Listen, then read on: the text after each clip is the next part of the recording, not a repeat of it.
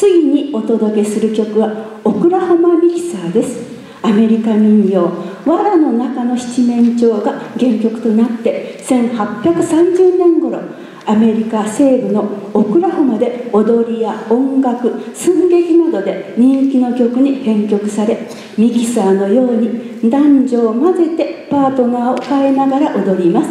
日本でもフォークダンス曲として知られていますね。どうぞお聴きください。